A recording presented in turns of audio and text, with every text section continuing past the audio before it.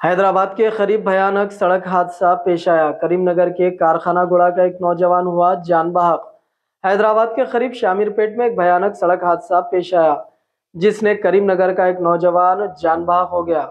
यह हादसा उस वक्त पेश आया जब एक स्कूटी सवार ने आरटीसी बस को ओवरटेक करने की कोशिश की।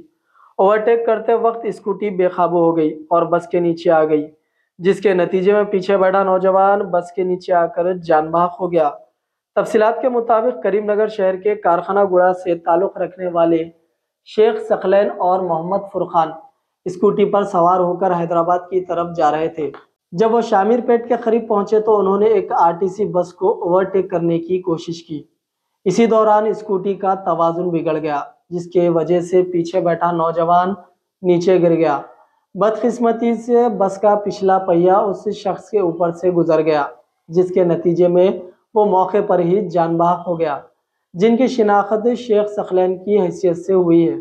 इस हादसे में स्कूटी चलाने वाला नौजवान फुरखान भी जख्मी हुआ, जिसे फौरी तौर पर करीबी अस्पताल मुंतकिल किया गया। पुलिस ने जाए हादसे पर पहुंचकर मुकदमा दर्ज कर लिया है और मामले की तहकीकात शुरू कर दी है। इस वाक़े ने करीमनगर में गम की लहर दौड़ा दी है।